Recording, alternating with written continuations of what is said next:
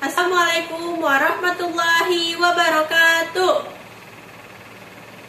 Perkenalkan, nama saya Dayandra Amabel Humaira. Saya dari SDN Mangunjaya 03 ingin membacakan puisi tentang Sumpah Pemuda.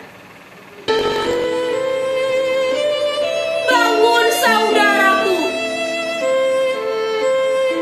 Selamat pagi Indonesia.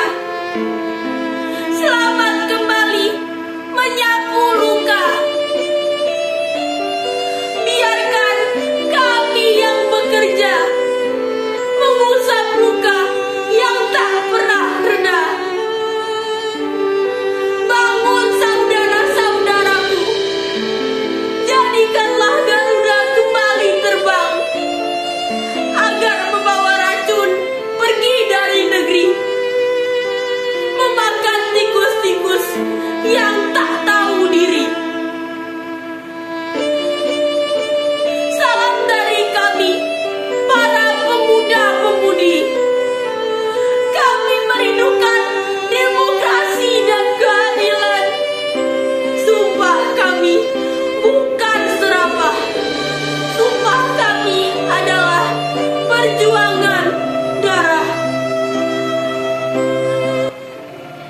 Wassalamualaikum warahmatullahi wabarakatuh.